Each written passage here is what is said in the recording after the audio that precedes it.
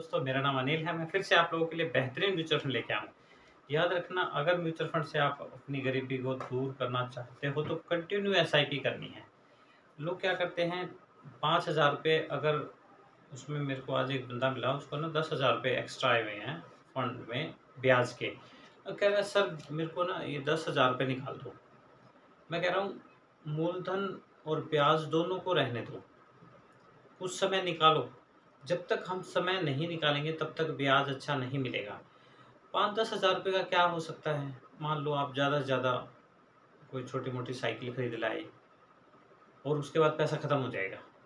Mutual fund में अगर आप चार से पाँच साल के लिए आना चाहते हो तो आओ एक दो साल के लिए मत आओ।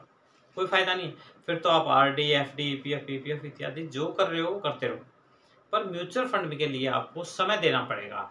और समय इतना दो कि आपको पंद्रह या बीस साल के बाद में आपकी गरीबी दूर हो जाए उसके लिए सोचो, ना कि ये कि पाँच दस हज़ार रुपये आ गए और निकाल लो और फिर देख लेंगे, दोबारा कर लेंगे, क्या नई बात है। म्यूचुअल फंड कहीं भागा थोड़ी जा रहा है। सर, कुछ भी नहीं भागा जा रहा। हमारी अगर गरीबी अगर हम दूर करना चाहते हैं तो कंटिन्यू एस करनी ही पड़ेगी।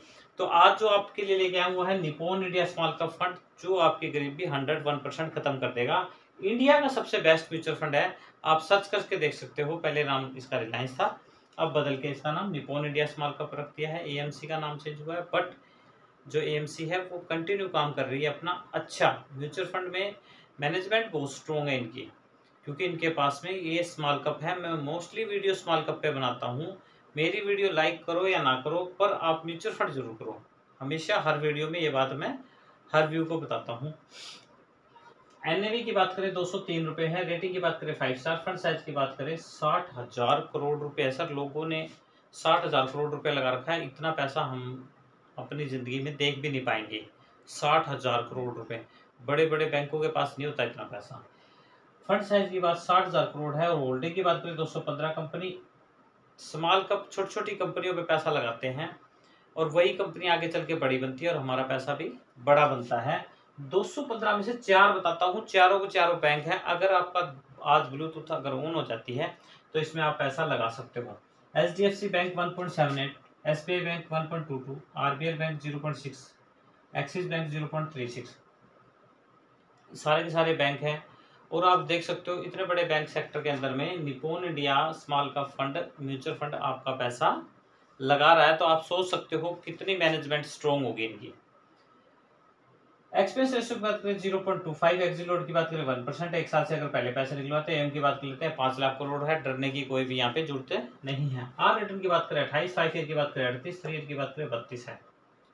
देखो, हमेशा थ्री ईयर का ध्यान देना है, मैं हमेशा यही बताता हूँ थ्री ईयर का अगर बीस परसेंट से ऊपर आ रहा है ना तो रिटर्न उसमें पैसा लगा सकते हो। फंड साइज़ पाँच हज़ार करोड़ से ऊपर का होना चाहिए, और एम एक लाख से ऊपर का होना चाहिए। जिस फंड में आपने पैसा लगा रखा है चेक कर लो। अगर ये सारी चीज़ें आपके पास हैं तो फंड में बने रहो अदरवाइज़ एग्जिट मारो, और निपोन इंडिया स्मॉल का फंड आप ले लो। मंथली दो हज़ार रुपये की एस आई पी करते हैं, अट्ठाईस परसेंट रिटर्न अठारह साल। कई बोलते हैं, सर, मेरी लड़की की शादी करनी है, मैंने अठारह साल के बाद उस पर वीडियो बनाई, मैं उन्हीं के लिए वीडियो बनाई आज, कि अट्ठारह साल कंटिन्यू अगर अभी आपकी बच्ची पैदा हुई है, उसके नाम से दो हज़ार रुपये की स्टार्ट कर लो, अट्ठाईस का रिटर्न मान के चलते हैं। अठारह साल बाद आपने इन्वेस्टमेंट करे, चार लाख बत्तीस हज़ार रुपये आपको मिल गया एक करोड़ छब्बीस लाख निन्यानवे हज़ार दो सौ अठहत्तर रुपये पूरी ज़िंदगी में इतना पैसा नहीं बनना। छब्बीस लाख भी नहीं बनना, क्योंकि हम गरीब हैं, गरीब ही रह जाएँगे। अगर हम सेविंग और इन्वेस्टमेंट में फ़र्क नहीं समझते इन्वेस्टमेंट के लिए हमें क्या करना पड़ेगा? दूसरी राह चुननी पड़ेगी, जहाँ पैसे को पैसा कमाना, कमा के आए। ये नहीं है कि जो सेविंग करी, वो हम खा गए, फिर से ज़ीरो पे हो गए।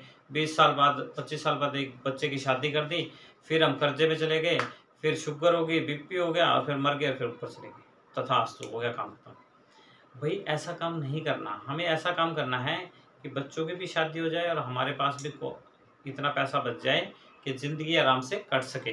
तो मैं अपने नेक्स्ट वीडियो म्यूचुअल फंड के बारे में बेहतरीन बताने की कोशिश करूँगा। Thank you